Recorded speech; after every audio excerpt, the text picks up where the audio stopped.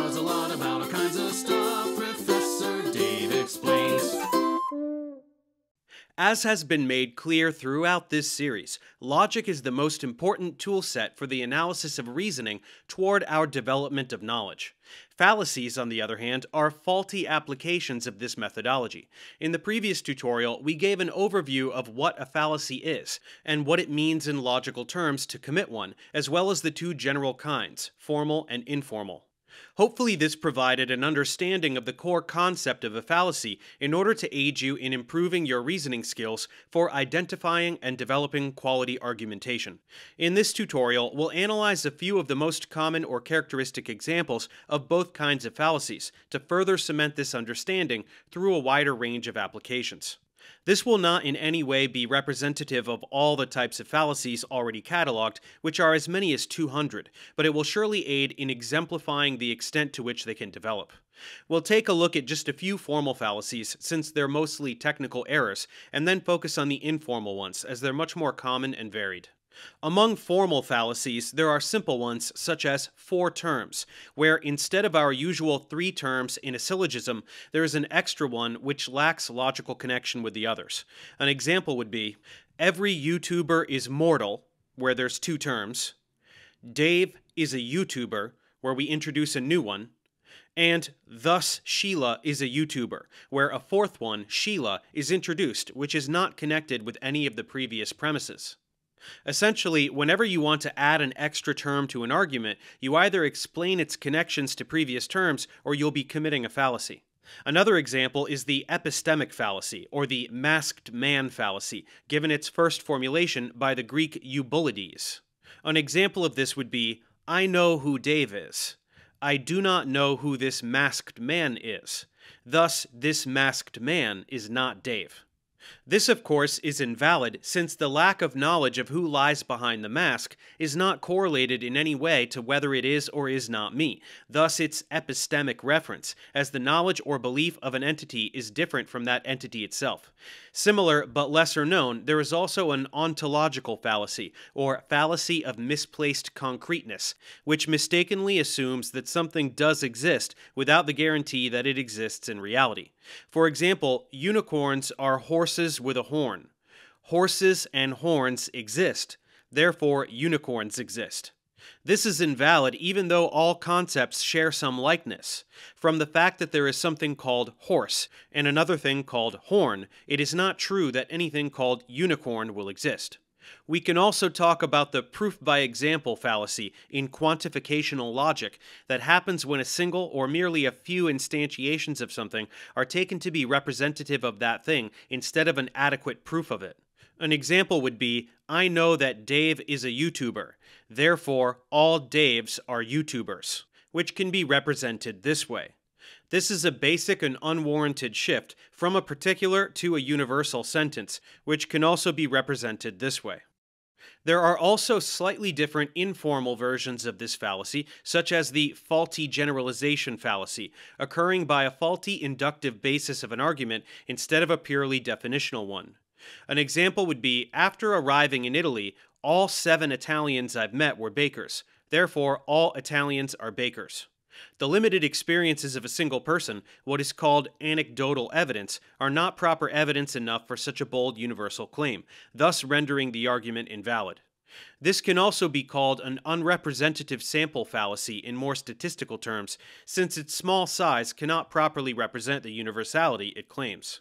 Conversely, the accidental fallacy attempts to invalidate given statements as exceptions to a given rule, much like its more extreme version, the no true Scotsman fallacy, or an appeal to purity, which attempts to invalidate a statement by contrasting it with a hypothetical perfect rule or standard. This is derived from the following No Scotsman is a coward, but that fellow, who is a Scotsman, is a coward. Well, no true Scotsman is a coward. This attempts to establish an unquestionable standard which can only be exemplified by instances where they would fit all of the necessary criteria, excluding any other possible variations, and shifting its definition always to a purer version, an unscientific rhetorical device that tries hard not to dialogue with any counterexamples. This is also related to the moving the goalpost fallacy, very common in internet discourse, where, as the name suggests, the objective of the discussion is always altered to benefit one's argument in detriment of another, as if the goalposts were always changing around in a football match in order to invalidate the field goals of the opposing team, or making them more difficult to achieve. An example would be a discussion between person A and person B.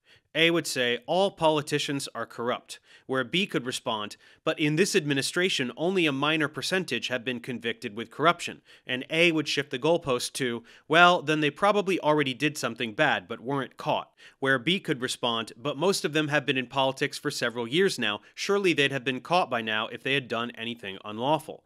To which A could shift again to something like, Well, if they didn't do anything until now, they will probably do so later. And so on and so forth, never directly addressing B's arguments. Going back to the first informal fallacy we saw in the previous tutorial, the appeal to authority also has similar versions, as it isn't the only kind of fallacy that tries to appeal to something other than the argument itself. Some of them include appeals to emotions, as with the classic Simpsons quote, Won't somebody please think of the children? where Helen Lovejoy attempts to sidetrack discussions by getting an emotional response with this dramatic utterance to hypothetical children unrelated to the problem at hand. This happens every time someone attempts to shift focus away from the proper argument through either pity, fear, or flattery. Another example related to the appeal to emotions is the ad populum or mob appeal, which is when an argument is accepted or rejected only because the majority of people judge likewise. When someone is trying to defend the prohibition of abortion because the majority of people agree that it is wrong, or trying to prove the existence of God because most of the population thinks that God exists, this is a fallacious way of thinking. Nothing in the opinion of the mob makes something true or false by itself. In addition, the appeal or reduction to absurdity, reductio ad absurdum in Latin, happens when the most absurd instantiation of an argument would be used to try and invalidate it through ridicule, such as if you can only accept fact based evidence in peer reviewed research journals, then you'd need to spend all your life reading scientific papers to even be able to get out of bed in the morning, a clear exaggeration with no actual bearing on any argument at hand.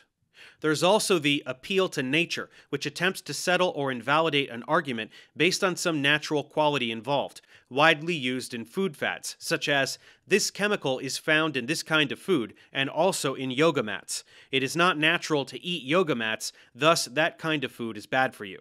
Or conversely, processed foods don't occur naturally, thus, we should not eat them.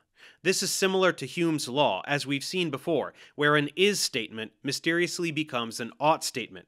However, the focus is on the rhetorical appeal to a hypothetical natural state, which would be superior and thus more desirable.